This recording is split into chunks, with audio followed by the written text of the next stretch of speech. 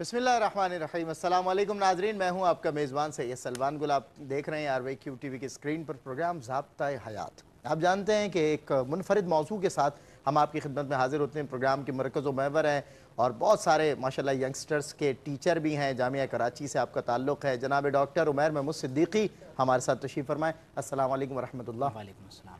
ناظرین آج کا بھی جو موضوع ہے اس میں ہمیں ڈاکٹر صاحب کی خدمات درکار ہیں اور ماشاءاللہ وہ اپنی تحقیق کے ساتھ یہاں پر حاضر خدمت ہیں ایک بار پھر آپ کے لیے اور موضوع ہے اسلام اور انسانی حقوق۔ جی ہاں اسلام اور ہیومن رائٹس آج ہم اس پہ بات کرنے جا رہے ہیں اور بہت سے سوالات میں نے ترتیب دیے ہیں جن میں اسلام اور انسانی حقوق کی بات ہے۔ امپورٹنس آف ظاہر سبجیکٹ بھی ہم بات کریں گے۔ انسانی حقوق کا جو انٹروڈکشن ہے وہ بھی ڈاکٹر صاحب سے جاننا چاہیں گے۔ اسلام اور عالمی انسانی حقوق میں جو مطابقت، اس طرح کے کئی سوال ہیں۔ عورت اور مرد میں جنسی تفریق اور تعصب کا جو معاملہ ہے مذہبی آزادی کا جو معاملہ ہے بہت ساری باتیں، حدود و قیود بھی ہیں، کچھ پرنسپلز ہیں جنہیں سمجھنے کی ضرورت ہے۔ اور ہر انسان آج ایک ایسا ڈس انفارمیشن کا دور ہے کہ ہر انسان اپنی معلومات کے مطابق، جو کہ ہوتی بھی اس کو نہیں ہے، اپنے جوابات بھی رکھتا ہے اور دلیلیں بھی رکھتا ہے اور بے وجہ کی جو دلیلیں پیش کرتا ہے۔ اور بتانا یہ چاہتا ہے کہ میں ہر موضوع سے ریلیٹڈ معلومات رکھتا ہوں۔ لیکن ہر ایک موضوع کے اندر جو حدود و قیود جمع ہیں، جو اسلام نے ہماری رہنمائی کی ہے، اسلام نے ہمیں سمجھایا ہے، وہ اس سے بہت منفرد نظر آتی ہیں۔ تو سمجھنے کی ضرورت ہے، اس دور کو انفارمیشن کی ضرورت ہے اور صحیح کریکٹ انفارمیشن کی ضرورت ہے ٹرو ڈائمنشن کی ضرورت ہے۔ ہم آج ایک مرتبہ پھر ایک اور موضوع کو ایک صحیح ڈائمنشن کی طرف لے کر جائیں گے اور اس کو سمجھیں گے۔ ڈاکٹر صاحب کی تحقیق انشاءاللہ ہماری رہنما ثابت ہوگی۔ ڈاکٹر صاحب، میں آج پروگرام کا آغاز کر رہا ہوں۔ اسلام اور انسانی حقوق میرا موضوع ہے تو سب سے پہلے موضوع کی اہمیت پر بات کریں۔ کیونکہ آج ظاہر ہے بڑی انسانی حقوق کی باتیں ہوتی ہیں بڑے نعرے لگتے ہیں عالمی برادری بھی بہت زیادہ انسانی حقوق کے لمبردار بنی پھرتی ہے۔ جی۔ بسم اللہ الرحمن الرحیم۔ اللہم صلی وسلم علی سیدنا محمد وعلی علیہ وصحبہ اجمعین۔ اسلام اینڈ ہیومن رائٹس ہمارا آج کا موضوع ہے اور عموماً ہم اپنے پروگرام کا آغاز موضوع کی اہمیت کے حوالے سے ضرور کرتے ہیں۔ اور سلمان، اس کی بنیادی وجہ یہ ہے کہ جب آپ کسی موضوع کی اہمیت کو سمجھ لیتے ہیں اور اس موضوع کی سگنیفیکنس اور امپورٹنس آپ کے ذہن میں واضح ہو جاتی ہے، تو یقینی طور پر اس موضوع کی اہمیت اور اس کی انفرادیت کو سمجھتے ہوئے ہمارے لیے اس کے، اس کی گہرائی کو سمجھنا ہمارے لیے آسان ہو جاتا ہے۔ آپ دیکھیے کہ اس وقت پوری دنیا کے اندر آپ جہاں کہیں بھی قانون سازی دیکھتے ہیں یا پوری دنیا کے نظام کو آپ چاہے وہ سیاسی ہو، دفاعی ہو، معاشی اور معاشرتی ہو، یا قانون سازی اور عدالتی نوعیت کا یعنی نظام ہو، آپ کو معاشرت اور خاندان میں ایک انڈیویجول سے لے کر آپ کو پورے مسلم اور غیر مسلم اور پوری دنیا کے اندر انسانی اجتماع اور سوسائٹی کے اندر آج ہیومن رائٹس کی بحث آپ کو نظر آتی ہے۔ کیونکہ جس دور میں آپ زندہ ہیں یہ age of human rights discourse ہے کہ جس میں انسانی حقوق کی بات کی جاتی ہے۔ اور انسانی حقوق کی بنیاد پر ہی زندگی کے تمام تر نظام کو اثر نو ترتیب دیا جا رہا ہے۔ تو کیونکہ universal declaration of human rights کے ساتھ آپ کو آج دنیا کے اندر یعنی فریڈم لبرٹی ایکویلٹی اور اس کے ساتھ ساتھ فریٹرنٹی بردرہڈ اور عورت اور مرد میں جو جنسی تعصب کی بنیاد پر جو عورت کے حقوق کو پامال کیا جاتا ہے اس طرح کے موضوعات پر آپ کو آج پوری دنیا کے اندر مباحث نظر آتے ہیں۔ بالکل صحیح۔ اور یاد رکھیں کہ جب آپ کبھی بھی اس بنیاد کے اوپر کسی بھی ڈسکورس کے اندر آپ داخل ہونا چاہتے ہیں تو ہمیں لازمی طور پر بالخصوص اسلامی تعلیمات کے تناظر میں اس ہیومن رائٹس ڈسکورس کے تناظر میں ہمیں اس دور جدید میں نئے آنے والے موضوعات کو دیکھنا ضروری ہے۔ تو میں سمجھتا ہوں کہ اس موضوع کی انتہائی اہمیت ہے، کیونکہ عمومی طور پر ہمارے ہاں جو مفکرین ہیں یا اہل علم ہیں، وہ یا ہمارے اسٹوڈنٹس ہیں خاص طور پر، وہ ویسٹ کے اور اسلام کے ہیومن رائٹس کے تصور سے واضح نہیں ہیں۔ کیونکہ ویسٹ جب ہیومن رائٹس کی بات کرتا ہے تو ان کے نزدیک اس کی میٹا فزکس اور اس کا تصور آزادی یکسر مختلف ہوتا ہے۔ اور یقینی طور پر جب آپ اسلام کے مطابق آپ ہیومن رائٹس کی میٹافزکس اس کے عقائد اور خاص طور پر آپ اس کے تصور کی بات کرتے ہیں وہ بالکل مختلف ہے۔ اور اس کا نتیجہ یہ نکلتا ہے کہ پھر ہم ان دونوں مباحث کو یعنی خلط ملت کر دیتے ہیں جس کے جس کے نتیجے میں جو رزلٹ ہے وہ ہمارے پاس درست نہیں نکلتا۔ تو لہٰذا ضرورت اس عمر کی ہے کہ ہم ویسٹ کی ہیومن رائٹس کے تصور کو سمجھیں۔ اسلام کی ہیومن رائٹس کو تصور سمجھیں اور کوشش کریں کہ ان دونوں کے درمیان جو تفریق ہے یا سملیرٹیز ہیں ان کو سمجھا جائے تاکہ آئندہ آنے والے دور کے اندر ہم پیس اور کو ایگزسٹنس کے ساتھ ہم اپنے وقت کو گزارنے کے قابل ہو سکیں۔ اچھا ڈاکٹر صاحب اگر میں آپ سے یہ کہوں کین یو پلیز الیبریٹ کہ انسانی حقوق کا جو انٹروڈکشن ہے یا پھر in general point of view اور Islamic point of view both تو اس میں آپ کیا آپ کا کلام ہوگا؟ سلمان دیکھیے جب انسان آہستہ آہستہ اپنے تجربات سے سیکھتا ہے یعنی ٹرائل اور ایرر کے ذریعے سے آپ کے سیکھنے کا عمل جاری رہتا ہے۔ آپ دیکھیے کہ ایک وہ دور تھا کہ جب انسان جنگلوں میں رہا کرتے تھے جو جس طرح سے آپ کے یہاں سوشالوجی یا دیگر حوالے سے تاریخ کو بیان کیا جاتا ہے کہ انسان ایک دور ایسا ہے کہ کبھی وہ کبھی وہ اسٹون ایج میں ہے کبھی وہ آئرن ایج کے اندر ہے کبھی وہ پریمیٹیو یعنی ریلیجنس کی بات کی جاتی ہے۔ لیکن خاص طور پر انسان نے scientific industrial technological philosophical revolution کے بعد سے جس طرح سے انسان کی زندگی کے اندر ایک سائنٹیفک کلچر کی مداخلت شروع ہوئی ہے تو آپ دیکھیے کہ کس طرح سے بیسویں صدی میں فرسٹ اور سیکنڈ ورلڈ وار ہوتی ہے۔ بالکل ٹھیک۔ نتیجتاً کروڑوں انسانوں کا قتل عام قتل عام ہوتا ہے خون ریزی ہوتی ہے تباہی بربادی ہوتی ہے۔ اور اور کروڑوں انسانوں کے قتل عام کے علاوہ کروڑوں انسان ڈسپلیس ہو جاتے ہیں زخمی ہو جاتے ہیں۔ دنیا طاقت و تاراج ہوتی ہے۔ تباہی اور بربادی کا ہمیں سامنا کرنا پڑتا ہے۔ اور اس تباہی اور بربادی کے نتیجے میں انسانوں نے اس بات کو یعنی سیکھنے کی کوشش کی کہ ہمیں کچھ بنیادی اصول ایسے بنانے چاہیے کہ جن کی بنیاد پر ہم انسانوں کی جان مال عزت آبرو کی حفاظت اور بحیثیت ایک انسان تمام تر مذاہب کی تفریق سے بالا ہو کر رنگ اور نسل کی تفریق سے بالا ہو کر اسی طرح سے علاقائی اور دیگر تعصبات سے بالا ہو کر انسان کو بحثیت انسان۔ دیکھنے کی کوشش کی جائے۔ اور اسی بنیاد پر آپ دیکھتے ہیں کہ کس انداز سے اقوام متحدہ کے تحت ایک universal declaration of human rights جو تھا وہ باقاعدہ بنایا گیا کہ جس میں تقریباً تھرٹی آرٹیکلز تھے اور نائنٹین فورٹی ایٹ میں دس دسمبر نائنٹین فورٹی ایٹ میں باقاعدہ یہ ڈیکلیریشن منظور کیا گیا اور اس ہیومن رائٹس کے انسانی حقوق کے عالمی منشور میں تقریباً تیس جو آرٹیکلز ہیں وہ دنیا کے سامنے متعارف کروائے اور اس میں نائنٹی پرسنٹ انسانیت اور انسانی حقوق اس کی بنیاد انسانی ہاں انسانی حقوق کے اوپر بات ہو رہی ہے۔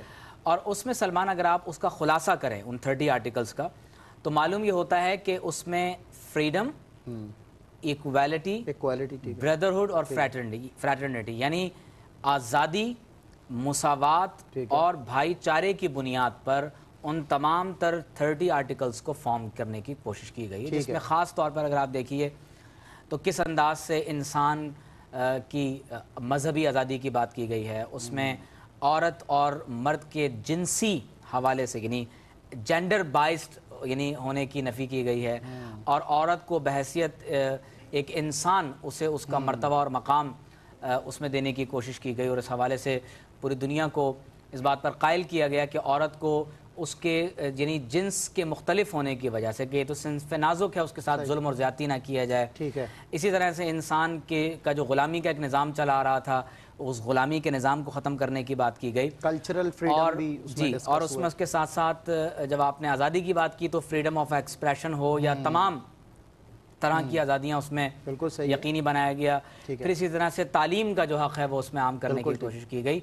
تو یہ اس کا ایک بنیادی انٹروڈکشن ہے کہ یوں سمجھ لیجیے کہ ان تھرٹی آرٹیکلز میں بنیادی طور پر انسانوں کی آزادی انسانوں کے لیے مساوات اور ایک ایسے گلوبل برادرہڈ کی بات کی گئی ہے کہ جس کی بنیاد پر ان کے ذات پات رنگ نسل اور مذہب کی تفریقات کو مٹا دیا جائے۔ اور اس سے اوپر اٹھ کر انسانی حقوق کی بات کی جائے۔ قابل توجہ بات یہ ہے کہ اس کے ساتھ ایک ہیومن رائٹس ڈیفینڈرز کا جو اعلامیہ ہے وہ الگ ہے کہ جس میں خاص طور پر اس ہیومن رائٹس کے ڈکلیریشن کی کے تحفظ کے لیے اس کے فروغ کے لیے اور اس کی تبلیغ کے لیے اور اس کو عام کرنے کے لیے جو لوگ اپنی خدمات سر انجام دے رہے ہیں تو ان لوگوں کو ڈیفینڈ کرنے کے لیے ایک الگ اعلامیہ جاری کیا گیا۔ ٹھیک ہے۔ اب یہاں پر اسی بات کے انٹروڈکشن کے اندر یہ بات بھی ہمیں سمجھ لینی چاہیے کہ یہ جو تصور انسانیت ہے اس پورے تصور حقوق انسان کی بنیاد دو باتوں پر ہے۔ کہ انسان آٹونامس ہے اور سیلف ڈٹرمن ہے یعنی انسان خود مختار ہے۔ ٹھیک ہے۔ اور انسان اپنے لیے خیر اور شر کا تعین خود کرتا ہے۔ اور خیر اور شر فی نفسی ہی کیا ہیں؟ یعنی یہ بات زیر بحث نہیں ہے بلکہ اصل بنیادی نقطہ یہ ہے کہ انسان کو یہ حق ہونا چاہیے کہ وہ خود اپنی ذات کے لیے کیا خیر ہے اور کیا شر ہے اس کا اپنی ذات کے لیے تعین کر سکے اور اس حق آزادی میں تمام تر انسان برابر ہیں۔ ٹھیک ہے۔ تو یہ ایک بنیادی تعارف ہے جو ہمارے سامنے universal declaration of human rights کا میں نے آپ کے سامنے پیش کیا۔ جہاں تک اسلام میں انسانی حقوق کی بات ہے اس پر انشاءاللہ ہم تفصیلی بات آگے کریں گے۔ صحیح ہے۔ اور جب آپ اسلام میں ہیومن رائٹس کی بات کرتے ہیں تو یقینی طور پر مغرب نے تو کروڑوں انسانوں کے قتل عام کے بعد اس فکر کو اپنے اندر اجاگر کرنے کی کوشش کی ہے۔ ایگزیکٹلی میں سوچ رہا تھا کہ ڈاکٹر صاحب اس طرف کیوں نہیں آ رہے ہیں؟ جی۔ جبکہ ہمارے خالق اور مالک نے جب سے اس انسان کو تخلیق کیا ہے اس انسان کے صرف حقوق نہیں اس کے فرائض بھی بیان کیے۔ یعنی اسلام میں حقوق انسانی اور فرائض انسانی دونوں کا ذکر ہمیں ملتا ہے۔ اور انسان بحیثیت عبداللہ اور خلیفۃ اللہ وہ اپنے تمام تر فنکشنز کو وہ سر انجام دیتا ہے۔ اور یقیناً اسلام میں جب انسانیت کی یعنی جان مال لذت آبرو کی حفاظت کی بات کی جاتی ہے اور یقینی طور پر وہ مقاصد شریعت کے تحت حقوق العباد اور فرائض العباد کی جب بات کرتے ہیں تو وہ جو تصور انسان ہے وہ جو تصور حقوق اور فرائض ہے ہاں۔ وہ ایک ایسا آفاقی اور ابدی اور جامع اور کامل ہے کہ اس سے بہتر تصور انسانی حقوق دنیا میں نہیں ہو سکتا۔ اور ایز وی ڈسکسڈ بیفور کہ فرام دا پروفٹ صلی اللہ علیہ وسلم جو ہمیں ان کے معاہدوں میں جو جی۔ تحفظ نظر آتا ہے جو جس طرح سے مائنورٹیز کو آپ صلی اللہ علیہ وسلم نے تحفظ فراہم کے دنیا میں اس کی مثال مثال نہیں ملی پر۔ ایک بریک ہے۔ جی۔ بریک کے بعد انشاءاللہ اس کو کنٹینیو کرتے ہیں۔ بڑا اہم موضوع ہے اور بڑے اچھے انداز سے ڈاکٹر صاحب نے اس کا آغاز کیا ہے۔ آ، اب دیکھتے ہیں انشاءاللہ کہ اس کے بعد ڈاکٹر صاحب ہمیں کیا بتاتے ہیں۔ بہت سارے سوالات ہیں میرے سامنے انشاءاللہ کرنے۔ ایک چھوٹے سے ویلکم بیک ناظرین آپ کا خیر مقدم ہے پروگرام ضابطہ حیات اور موضوع ہے اسلام اور انسانی حقوق اس پہ ہم بات کر رہے ہیں موضوع کی اہمیت اور انسانی حقوق کے تعارف میں میں نے ڈاکٹر صاحب سے کچھ سنا ڈاکٹر صاحب کیا اسلام اور عالمی انسانی حقوق میں مطابقت نظر آتی ہے آپ کو ویسے تو ہم نے برسبیل تذکرہ تو اقوام متحدہ کا وہ جو چارٹر ہے اس کو ڈسکس کیا ہے اور اس میں ظاہر ہے آپ نے فرمایا کوالٹی فریڈم یہ سب ڈسکس ہوا ہے لیکن جو اسلام اور عالمی انسانی حقوق کی بات ہے تو وہاں کہاں تک مطابقت نظر آتی ہے سلمان جب آپ انسانی حقوق کا مغربی تصور اور انسانی حقوق کا اسلامی تصور جب آپ اس میں سملیرٹیز کو تلاش کرنے کی کوشش کرتے ہیں تو پہلے ایک بات ہمیں سمجھ لینا چاہیے کہ اس وقت جس عہد میں ہم زندہ ہیں اس دور میں ویسٹ اور ایسٹ میں اسلام اور مغربی تہذیب میں مطابقت کی کوشش کی جا رہی ہے۔ ایک عہد تو وہ تھا کہ جس میں سیکولرائزیشن کی کوشش کی گئی۔ ٹھیک ہے۔ اور مذاہب کی مخالفت آپ کو اس پیمانے پر نظر آتی ہے کہ گویا کہ وہ مذاہب کی عداوت میں شمار ہوتا ہے۔ صحیح۔ لیکن اب جو عہد ہے اس میں مطابقت کی کوشش کی جا رہی ہے یعنی سملیرٹیز تلاش کی جاتی ہیں۔ اور کوشش کی جاتی ہے کہ جو دور جدید کے مفکرین ہیں انہیں یہ فوڈ فار فار تھاٹ دیا جائے کہ آپ اپنے مذہب اور عالمی جو یعنی تہذیب ہے آپ اس میں ایک مطابقت کی کوشش کریں کوشش اور اپنے آپ کو مطمئن کر لیں کہ اس میں جو کچھ بیان کیا جا رہا ہے وہ دراصل اس کا مصدر اسلام ہی ہے یا وہ اسلام سے بہت زیادہ سملر ہے یا ہمارے نبی صلی اللہ علیہ وسلم نے اس طرح کی تعلیمات تو چودہ سو سال پہلے عطا فرما دی تھیں۔ تو گویا کہ تطبیق کی ایک باقاعدہ کوشش کی جاتی ہے۔ اب اس میں میں یہاں پر چاہوں گا کہ ہمارے جو اسٹوڈنٹس ہیں خاص طور پر وہ علامہ اقبال کو پڑھنے کی کوشش کریں۔ کیونکہ علامہ اقبال جب ضرب کلیم لکھتے ہیں اور عصر حاضر کے خلاف اعلان جنگ کا وہ یعنی ایک ان کی تحریر میں ہمیں اس کا ایک واضح ثبوت نظر آتا ہے۔ اور اس کے ساتھ جب اقبال اپنے reconstruction of religious thought in Islam میں وہ اپنے خطبات کے ذریعے سے جس طرح سے وہ پوری آپ کی ایپسٹمالوجی کو وہ ریکنسٹرکٹ کر رہے ہیں اور اور اور اور مسلم تھاٹ کو وہ دوبارہ ریکنسٹرکٹ کرنے کی یعنی وہ کوشش کر رہے ہیں۔ تو اب آپ اندازہ کیجیے کہ اقبال نے کس انداز سے تطبیق سے آگے بڑھ کر انہوں نے یعنی قرآن سنت اور جدید جو مغربی اور سائنسی جو کلچر اس وقت ہمارے اوپر یعنی مسلط ہے اقبال نے کس انداز سے تطبیق اور تنقید دونوں سے آگے بڑھ کر یعنی جس طرح کہا جاتا ہے کہ خود مصفہ و دع ما قدر کہ جہاں کچھ آپ کو اچھا نظر آئے آپ لے لیجیے اور جہاں آپ کے اسلام کے اصولوں سے کوئی بات متصادم ہو تو اسے ترک کر دیا جائے۔ تو اقبال نے قرآن مجید کے آفاقی اصولوں کو پیش نظر آپ نے اس بنیاد پر تطبیق اور تنقید کی کوشش کی ہے یعنی نہ تو کلیتاً آپ نے تطبیق کی ہے، نہ کلیتاً آپ نے اس پر نقد کیا ہے۔ اور اس پر تفصیلی ہم پروگرام کتاب و قلم میں بھی اور اپنے ضابطہ حیات کے حوالے سے بھی ہم اس پر بات کر چکے ہیں۔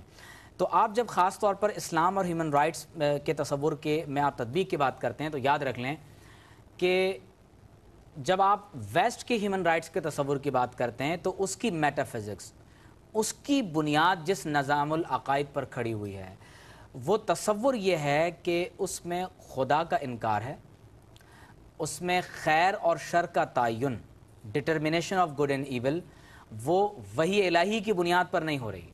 ٹھیک ہے۔ وہ خیر اور شر کا تعین انسان اپنی عقل اپنی نفسانی خواہشات اور اپنے تجربات اور مشاہدات کی بنیاد پر کر رہا ٹھیک ہے۔ اور ہر انسان کے لیے خیر اور شر اس کی ذاتی حیثیت میں ایک الگ یعنی انداز سے اس کا جو وہ رنگ نظر آتا ہے۔ بالکل۔ یعنی فرض کیجیے کہ ایک انسان اپنے لیے نماز پڑھنا روزہ رکھنا حج کرنا زکوٰۃ دینا یا رات کو تحجد کی نماز پڑھنا اپنے لیے پسند کرتا ہے تو اس کے لیے یہی خیر ہے۔ صحیح۔ اور اگر ایک شخص اپنے لیے نائٹ کلبز میں جانا شراب پینا زنا کرنا اپنے لیے وہ بہتر سمجھتا ہے تو یہ اس کے لیے ذاتی خیر ہے۔ تو گویا کہ آپ اندازہ کیجیے کہ جب انسان کو مرکز کائنات بنا کر یہ تو آپ فرما رہے اکارڈنگ ٹو دیئر پرمیشنز نا ظاہر ہے وہ یعنی جب آپ انسان کو مرکز کائنات بنا کر تمام تر نظام کو انسان کے گرد گھمائیں گے یعنی انسان کی خواہشات ہاں جو ہے وہ تمام نظام کا مرکز قرار پائیں گی اور انسان کی خوشی تمام یعنی نظاموں کا مرکز قرار پائے گی تو اس کا نتیجہ یہ نکلے گا کہ انسان جب خدا کا منکر ہو جائے اور وہ کہے کہ مجھے اپنے وجود کے لیے کسی خدا کی ضرورت نہیں اور جب انسان یہ اعلان کر دے کہ مجھے ناؤز باللہ من ذالک خدا رسول آخرت قرآن اور تمام تر مذاہب کی جو کا جو مذہبی ادب ہے اس سے بالا تر ہو کر مجھے اپنے لیے خیر اور شر کا تعین کرنا ہے۔ اور اپنے خود ناؤز باللہ من ذالک خدا ہونے کا اعلان کرے جس کو قرآن نے کہا کہ افرعیتا من اتخذ الہہ ہواہو وعد اللہ اللہ علی علم۔ کہ آپ نے اس شخص کو دیکھا کہ جو ناؤز باللہ من ذالک اپنی خواہشات کو اپنا خدا بنا لیتا ہے بنا لیتا ہے اور علم کے باوجود اللہ تعالیٰ نے اس کو گمراہ کر دیا۔ تو گویا کہ انسان جب اپنے آپ کو نفسانی خواہشات کا غلام بناتے ہوئے اب اپنے حقوق کی بات کرے گا تو وہ انسان کو جنسی اور معاشی حیوان بنانے کی طرف لے جائیں بالکل ٹھیک ہے۔ تو گویا کہ آپ اگر اس میں مطابقت کی بات کریں گے تو یقینی طور پر آپ کو نتائج کی صورت میں ممکن ہے کہ جزوی طور پر کہیں کہیں آپ کو کچھ سملیرٹیز نظر آئیں۔ لیکن جب آپ ان اصولوں کی بنیاد پر بات کریں گے کہ جن اصولوں کی بنیاد پر مغرب کا تصور انسانی حقوق اور اسلام کا تصور انسانی حقوق مبنی ہے تو یقیناً ان اصولوں میں زمین اور آسمان کا فرق ہے۔ اچھا۔ کیونکہ ہم جب انسان انسانی حقوق کی بات کرتے ہیں تو اس کی بنیاد اس نقطے پر ہے کہ اللہ تبارک و تعالی ہمارا خالق اور مالک ہے۔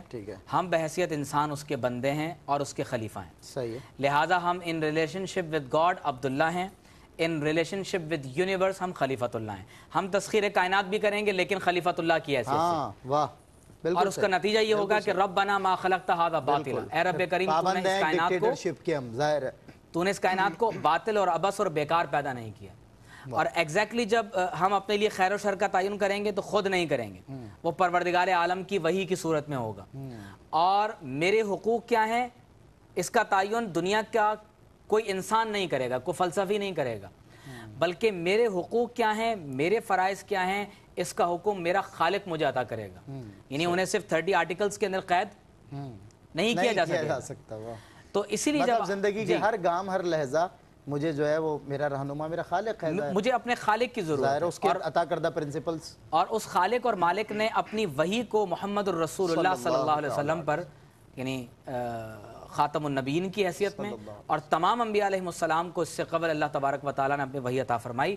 تو لہٰذا اس میں بنیادی فرق جو ہم نے اس کی مطابقت کے حوالے سے بیان کیا ہے اس کو سمجھنے کی ضرورت ہے کہ انسان بحثیت اللہ کی مخلوق اور بحثیت عبداللہ اور خلیفت اللہ۔ اللہ تعالیٰ کے بندے کی حیثیت سے اور as to almighty God Allah کے خلیفہ کی حیثیت سے وہ اپنی زندگی کو بسر کرے گا اور اللہ تعالیٰ نے اس کے لیے حقوق اور فرائض کو متعین کر دیا ہے۔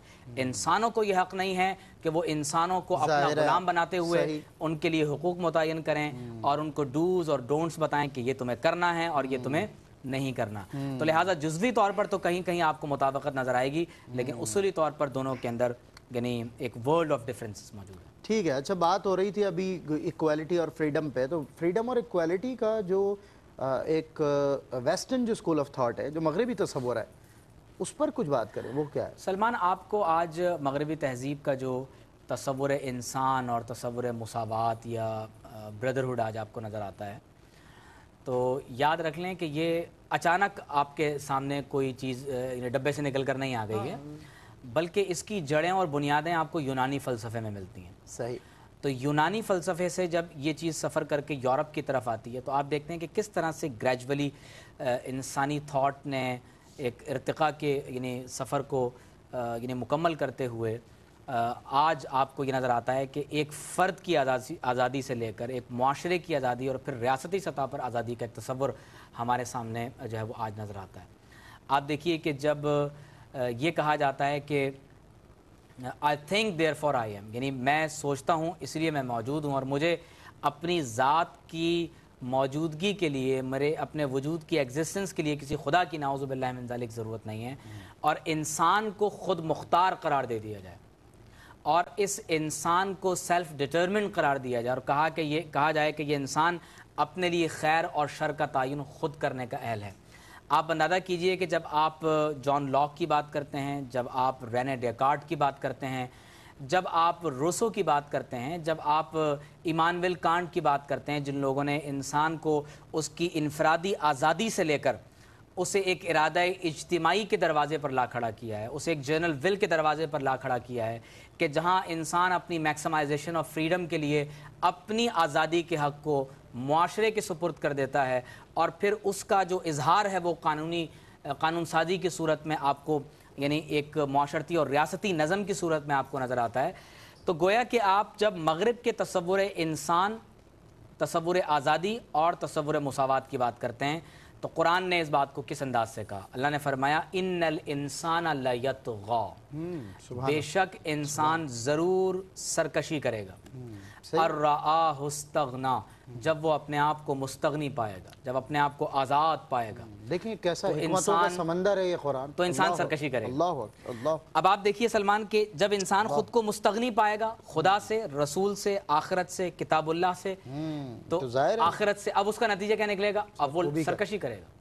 بالکل انسان کو یا تو خدا کا خوف ہوتا ہے یا قانون اور انسانوں کا خوف ہوتا ہے۔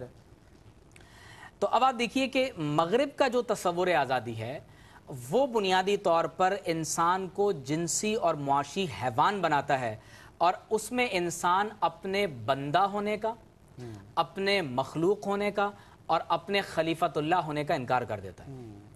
تو مغرب کا جو تصور انسان، اس لیے اقبال نے کیا کہا تھا کہ اگر انسان سے وہی الہی کا نور کھو جائے، تو اس کا نتیجہ یہ بنے گا کہ یہی جو آزادی افکار ہے، یہ انسان کو حیوان بنانے کا ذریعہ بن جاتا ہے۔ سبب بن جائے گی۔ بالکل ٹھیک۔ تو اس لیے آپ دیکھیے کہ اقبال فرماتے ہیں کہ من بندہ یا آزادم عشق است امام من عقل است غلام من کہ میں آزاد ہوں. اور میری آزادی کا تصور یہ ہے کہ جب میں نے عشق کو اپنا امام بنایا تو عقل میری غلام بن غلام گئی. تو گویا کہ مغرب کا تصور آزادی وہ انسان کو اللہ تعالیٰ کی بندگی سے ناؤز باللہ من ذالک باہر کر دیتا ہے. اور انسان اپنے خدا ہونے کا اعلان خود کرتا ہے اور وہ اس بات کو اپنے لیے حق تسلیم اور کرتا ہے۔ تاریخ میں کرتے رہے مغرب جی۔ میں ایسی بہت تیری مثالیں موجود ہیں بڑے بڑے فلاسفرز کی تاریخ یعنی انسان اپنے لیے جب آزادی کا دعویٰ کرتا ہے تو اس کا مطلب یہ ہے کہ مجھے یہ حق موجود مجھے یہ حق ملنا چاہیے۔ ہاں میرا یہ آفاقی اور کائناتی حق ہے کہ میں اپنے لیے خیر اور شر کا تعین خود کروں۔ بتائیے آپ۔ لہٰذا تمام انسان اس خیر اور شر کے تعین میں برابر ہیں۔ لہٰذا ایک شراب پینے والا اور نماز پڑھنے والا برابر ہوں۔ یعنی یہ ہے تصور مساوات کہ جو آپ مغرب کے تصور کی بنیاد پر دیکھتے ہیں۔ اس لیے جب آپ کو یعنی بلاسفیمس کنٹینٹ کے حوالے سے آپ کو بات کرتے ہیں یا ناؤز باللہ من ذالک جس طرح سے ویسٹ کے اندر کوئی اس طرح کی تحریک چلتی ہے تو وہ کہتے ہیں کہ یہ تمام لوگ برابر ہیں۔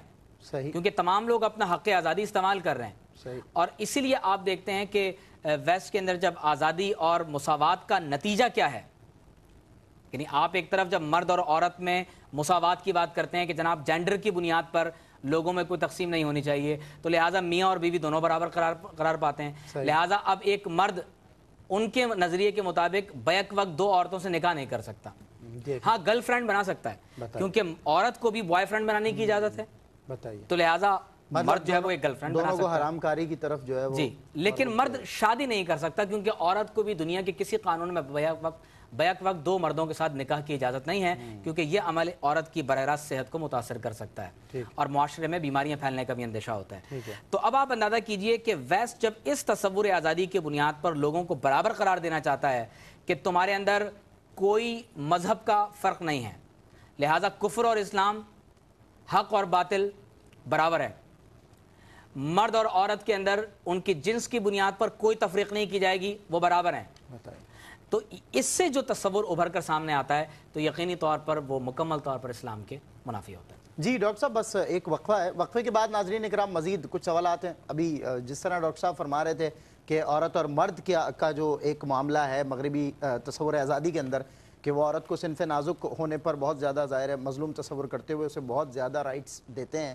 اور انہیں شاید ایسا لگتا ہے کہ ظاہر ہے اسلامی جو تصور ہے، اس میں مرد کو زیادہ رائٹس ہیں اور عورت کو کم ہے تو وہ اس، ان کو حقوق کو بڑا انہوں نے اس میں رد و بدل کیا ہوا ہے۔ لیکن اس کو ہم بریک کے بعد جانیں گے، ایک سوال میرے سامنے ہے کہ عورت اور مرد کی تفریق میں جو تعصب کا معاملہ ہے۔ بس ایک بریک بیک ناظرین، آپ کا خیر مقدم ہے۔ یار بھائی کیو ٹی وی کی اسکرین پر پروگرام ہے، ضابطہ حیات، موضوع اسلام اور انسانی حقوق اور اس پر بات ہو رہی ہے۔ ڈاکٹر صاحب سے میں سوال یہ کرنے جا رہا ہوں کہ جو عورت اور مرد میں جنسی تفریق اور تعصب کی بات ہوتی ہے۔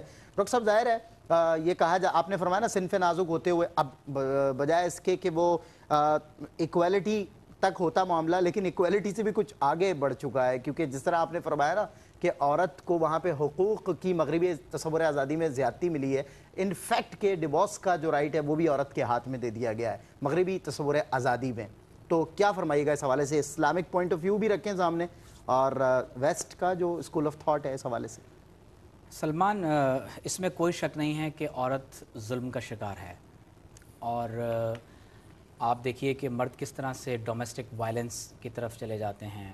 اور آپ اس کو اگر میاں بیوی کے تعلق میں دیکھیں یا وہ عورت جو ہمارے معاشرے میں باہر نکل کر کسی مجبوری کے تحت وہ آن جاب ہے تو کس طرح سے معاشرہ جی، کیا کیا پامال کرتا ہے؟ بالکل صحیح بات۔ نو ڈاؤٹ اس میں کوئی شک نہیں ہے کہ عورت مظلوم ہے اسے ہمارے ہاں ایک صنف نازک کی حیثیت سے جب ٹریٹ کیا جاتا ہے تو بجائے اس کے کہ اس میں اس کے حقوق کو محفوظ کیا جائے بلکہ انہیں پامال کرنے کی کوشش بالکل آئی ڈو اگری اسی کے نتیجے میں آپ دیکھتے ہیں کہ کس طرح سے دیکھیے جب کوئی گیپ ہوتا ہے تو اسے کوئی فل کرتا ہے نا ہاں، یعنی ایک خلا موجود ہے۔ ہاں، ہاں۔ اس خلا کو جب آپ عدل کے ساتھ پر نہیں کریں گے تو یقیناً اس خلا کو شیطان یا ظلم ظالم پر کرے گا۔ صحیح۔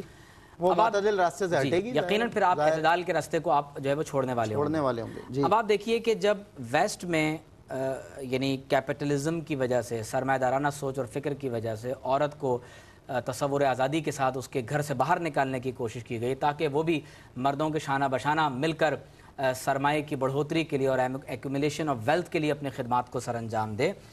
اب آپ دیکھیے کہ اس بنیاد پر عورت کو جب بتایا گیا کہ مرد تمہارے ساتھ اگر ظلم کرتا ہے اور اس کی بنیاد یہ ہے کہ تم عورت ہو اور وہ مرد ہے یعنی جینڈر بائزڈ آپ بیہیویئر کو معاشرے میں آپ دیکھ رہے ہیں کہ ڈومیسٹک وائلنس ہے، کس طرح سے آپ معاشرتی سطح پر عورتوں کے حقوق کو پامال کر رہے ہیں۔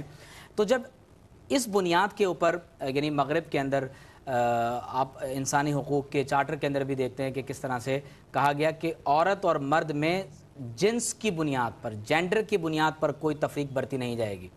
اس کا نتیجہ کیا ہوا؟ اس کا نتیجہ یہ ہے کہ آج آپ کو دنیا میں L G B T rights نظر آ رہے ہیں۔ اور جب آپ L G B T rights کی بات کر رہے ہیں تو گویا کہ آپ نے انسان کے اندر جو پروردگار عالم کی طرف سے ایک جینڈر کی یعنی تفریق انسان کے اندر رکھی گئی ہے، آپ جب اس فطری یعنی تقسیم کے خلاف آپ جا رہے ہیں تو اس کے نتائج آپ کے سامنے یعنی بلیک ڈیتھ ایڈس آپ کے ہاں ٹوٹل فرٹیلیٹی ریٹ اس وقت دنیا سے جب وہ گریجولی جو ہے وہ ختم ہو رہا ہے بالکل لوگ خودکشی کی طرف جا رہے ہیں یعنی خاندانی نظام تباہ و برباد ہو رہا ہے پاپولیشن کا بہت شکار ہے پاپولیشن کی طرف جا رہے ہیں اور ٹوٹل فرٹیلیٹی ریٹ جو ہے وہ گریجولی لوگوں کا بعض ممالک کا تو پوائنٹ نائن تک چلا گیا ہے انفیکٹ اس پہ ہم نے ایک پروگرام میں جی۔ بات کی تھی کہ بجائے ڈی پاپولیشن کی طرف وہ لوگ جاتے جہاں ان کو لے جانا جن لوگوں کو یہ جی۔ چاہتے تھے وہاں پاپولیشن بڑھ گئی۔ اور جی۔ وہاں ڈی پاپولیشن ہو گئی بالکل صحیح اب آپ اندازہ کیجیے کہ اسی طرح سے جب ہم نے اپنی فطرت کے ساتھ جنگ کرنے کی کوشش کی مغرب نے اپنی فطرت کے ساتھ جنگ کرنے کی کوشش کی تو اس کا نتیجہ کیا ہے؟ کہ چاہے وہ سیم سیکس میرج کے قوانین ہوں آپ بین الاقوامی سطح پر ڈومیسٹک وائلنس کی ایلیمینیشن کے لیے ایک دن مناتے ہیں اس کے باوجود سب سے زیادہ ڈومیسٹک وائلنس آپ کو انہی ممالک کے اندر نظر آتا ہے۔ ٹھیک۔ اس کی بنیادی سلمان وجہ کیا ہے؟ بنیادی سبب اس کا یہ ہے کہ انسان نے جب کبھی بھی اپنی عقل اور تجربات کی بنیاد پر کوئی نظام بنانے کی کوشش کی ہے اور وہی الہی کا انکار کیا ہے تو اس کے نتائج کیا ہیں؟ جی۔ آپ اس کے نتائج کمیونزم اور کیپٹلزم کی صورت میں دیکھ لیں۔ اور آج آپ اس کے نتائج انسانی آزادی اور مساوات کے تصور کی صورت میں دیکھ لیں۔ تو جب آپ ڈپریشن مایوسی ذہنی دباؤ اسٹریس اسی طرح سے فرسٹریشن بالکل اور یعنی ایک ایسا انسان کے جو ہر وقت ایک خوف یا حزن کی کیفیت کے اندر ہے۔ آج ہماری خواتین اسی کیفیت سے ویسٹ کے اندر گزر رہی صحیح۔ اور اس کا نتیجہ یہ نکلتا ہے کہ پھر وہ ڈرگس کا استعمال اور جب اس میں بھی سکون میسر نہیں آتا تو پھر انسان خودکشی کی طرف جاتا ہے۔ اور یاد رکھ لیں کہ اسلام آپ کو خوشی نہیں دیتا وہ آپ کو اطمینان دیتا ہے۔ اطمینان۔ خوشی عارضی ہوتی ہے۔ اچھی بات اچھی ہم اس وقت جھوٹی عارضی خوشی کی تلاش میں ہیں۔ صحیح بات۔ جبکہ سکون اطمینان میں ملے گا خوشی میں نہیں ملے گا خوشی عارضی ہوگی۔ زندگی میں ہر مقام پہ ٹیمپریری بیسز ہیں۔ ہمارے پاس ہر ظاہر ہے خوشی کے لیے تسکین کے لیے ٹیمپریری جی۔ ظاہر ہے۔ تو اگر ہمیں اطمینان چاہیے تو وہ اللہ اور اس کے رسول صلی اللہ علیہ وسلم کی تعلیمات کی روشنی میں ہمیں نصیب ہوگا۔ تو لہٰذا جب آپ عورت کی یعنی عورت اور مرد کی آپ ایک ایک ایک جینڈر کی تقسیم کو ختم کرنا چاہتے ہیں اور عورت اور مرد کو ایک ساتھ کھڑا کر دینا چاہتے ہیں اسی بنیاد پر آپ کو یورپ میں فیمنزم کی تحریک ملتی ہے۔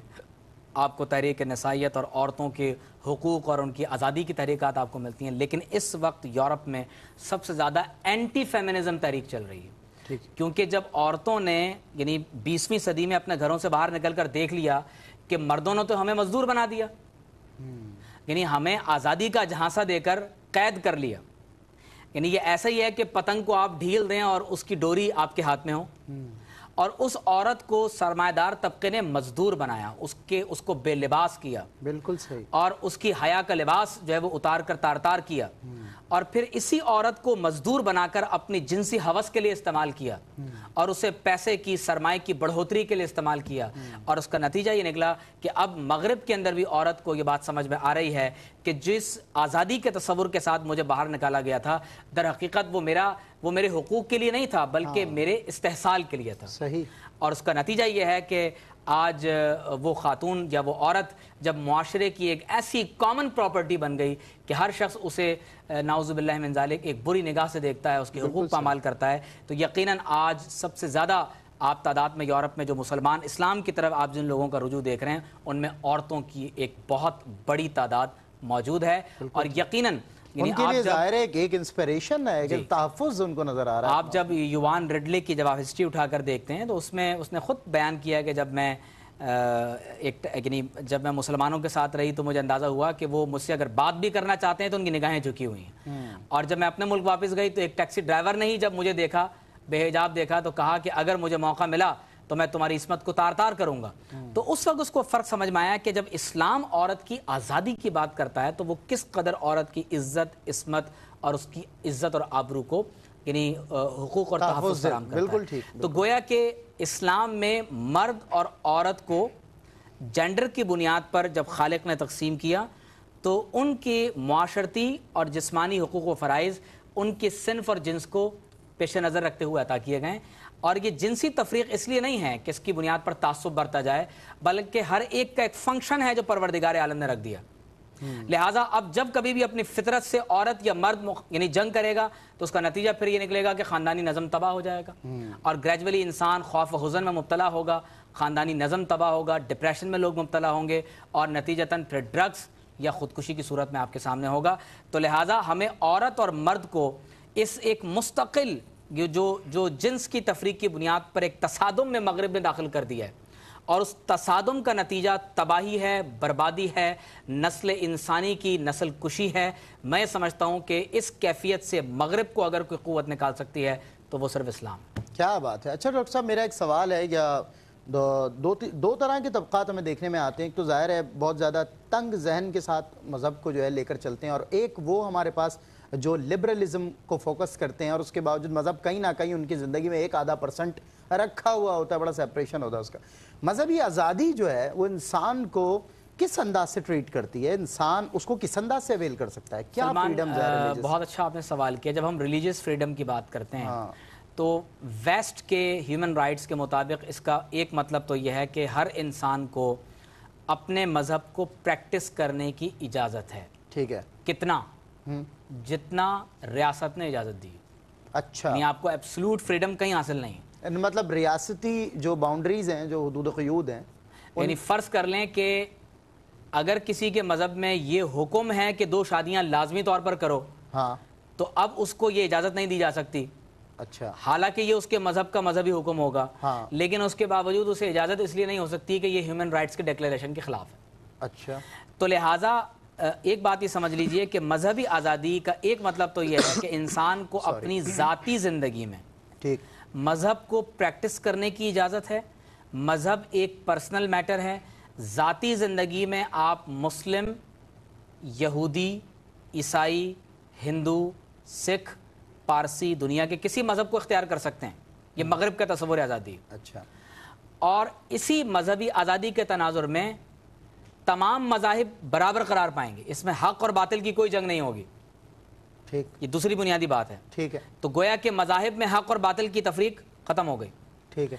تمام انسان مذہبی آزادی میں برابر ہیں کہ پرسنل لائف میں کسی بھی مذہب کو فالو کریں۔ یہ مغرب کا مذہبی تصور آزادی ہے۔ ٹھیک ہے۔ یعنی کسی ریاست میں بستے ہوں اگر وہ اسلام سے تعلق رکھتا ہے اور وہ کسی بھی مذہب سے تعلق رکھتا ہے ٹھیک ہے ریاستی قوانین ریاستی ریاستی سطح پر اس کو اجازت دی جائے گی کہ وہ اپنی ذاتی زندگی میں جس مذہب کو چاہے اختیار کرے اور جس طرح چاہے محض سرٹن سیٹ آف بلیفز یا آپ سمجھیے کہ کچھ رسومات کچھ عبادات ان کو بجا لائے۔ صحیح۔ مذہب ریاست کے ماتحت ہوگا۔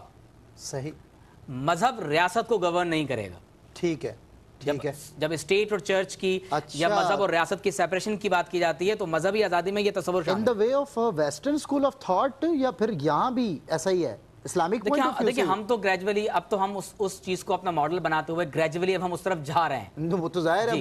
اب بعض اوقات نہ چاہتے ہوئے انٹینشنلی اور بعض اوقات انٹینشنلی جی، جی۔ اس طرف جانا پڑتا ہے کیا کریں اب آپ دیکھیے اچھا ڈاکٹر صاحب میں میں چاہتا ہوں کہ آج کی گفتگو کو یہیں پر سمیٹا جائے۔ اور یہیں سے میں کنٹینیو کروں گا۔ میں نے آپ سے مذہبی آزادی کا ایک سوال کیا۔ ناظرین نگرام ایک بہترین موضوع کے ساتھ حاضر خدمت ہوئے۔ ڈاکٹر صاحب نے بڑا خوبصورت آغاز کیا۔ اور آپ یقین کریں پروگرام کا وقت کب ختم ہو گیا اس کا اندازہ ہی نہ ہو سکا۔ لیکن یہیں سے میں اسے گزشتہ سے انشاءاللہ پیوستہ کروں گا۔ نیکسٹ ایپیسوڈ میں پروگرام میں ہمارا یہی موضوع رہے گا، اسلام اور انسانی حقوق۔ بہترین انداز سے ظاہر ہے میں نے ڈاکٹر صاحب سے کچھ ذرا کراس کوئسچنز بھی کیے ہیں، لیکن انہوں نے بتایا کہ اسلامک پوائنٹ آف ویو سے ہمیں کیا فریڈم ہے اور کیا اجازتیں ہیں، کیا پرویشنز ہیں۔ اور ویسٹرن اسکول آف تھاٹ اس حوالے سے ہمیں کیسا نظر آتا ہے۔ اسلامک اور ویسٹرن جو ایک آپ کہہ لیں کہ سملیرٹیز ہیں، ان کو بھی ہم ڈسکس کر رہے ہیں۔ اور جہاں پر وہ ظاہر ہے ڈفرینسز کا بڑے ہیوج ڈفرینسز ہیں ان میں آپس میں، اس کا شکار ہیں تو وہاں بھی کیا غلط، کیوں غلط، کیسے غلط ہو رہا ہے، اس کو بھی پیش نظر رکھیں گے۔ مذہبی آزادی میرے ایک ریلیجس فریڈم پہ میں نے ایک کوشچن کیا جس کو ڈاکٹر صاحب نے جسٹ ابھی لیا ہی تھا سوال کو، تو ہمارے پروگرام کا وقت ختم ہو گیا۔ اللہ رب العزت نے چاہا تو نیکسٹ ایپیسوڈ میں پھر آپ سے ملاقات ہوگی۔ کسی موقع پر کسی اسکالر نے کہا کہ جو تصوف ہے، میں اسلامک پوائنٹ آف ویو سے ہی بات کرنے جا رہا ہوں۔ جو تصوف ہے وہ خود کو جو ہے اللہ رب العزت کے سپرد کر دینے کا نام ہے۔ اس انداز سے کہ انسان دنیا سے کنارہ کرے، مکمل کنارہ کرے، اور وہ بیابانوں میں، دشتوں میں ہمیں صوفیہ اکرام نظر آئے، اور انہوں نے زندگی انہی ریاضتوں اور مجاہدات میں گزاری۔ تو دوسرے اسکالر نے ان کے جواب میں یہ کہا کہ اگر یہی تصوف ہونے کا جو ایک نشان ہے آئیڈینٹیفیکیشن لوگو ہے تصوف کسی کے اندر ہونے کا یا کسی کے صوفی ہونے کا، تو پھر وہاں پہ ہمیں دوسری مثالیں سیدنا شیخ عبد القادر جیلانی رضی اللہ تعالیٰ عنہ کی ملتی ہیں کہ وقت کا عمدہ ترین لباس، عمدہ ترین عطر، عمدہ ترین سواری اور عمدہ ترین رہائش کو آپ نے اختیار کیا۔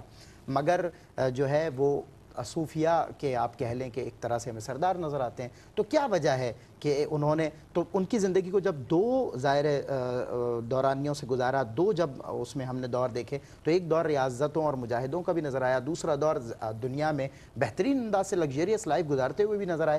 تو کہنے کا مقصد ہے کہ یہ باطنی طہارت کا نام ہے اور ظاہری طور پہ انسان جو ہے وہ اپنے آپ کو دنیا کے ساتھ جوڑے، دنیا کے ساتھ میل جول رکھے مذہبی اس کی آزادی ہمیں فراہم کرتا ہے۔ مذہبی آزادی ایک سوال تھا، اس لیے یہ واقعہ میرے ذہن میں آیا۔ انشاءاللہ نیکسٹ اپیسوڈ میں اسی سوال کے جواب سے آپ کی خدمت میں حاضر ہوں گے۔ تب تک کے لیے السلام علیکم ورحمۃ اللہ